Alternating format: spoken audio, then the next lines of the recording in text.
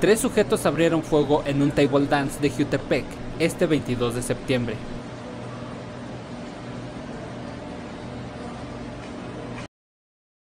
En el local, ubicado al oriente de Cuernavaca, murieron al menos dos personas y otras tres quedaron heridas, según medios locales.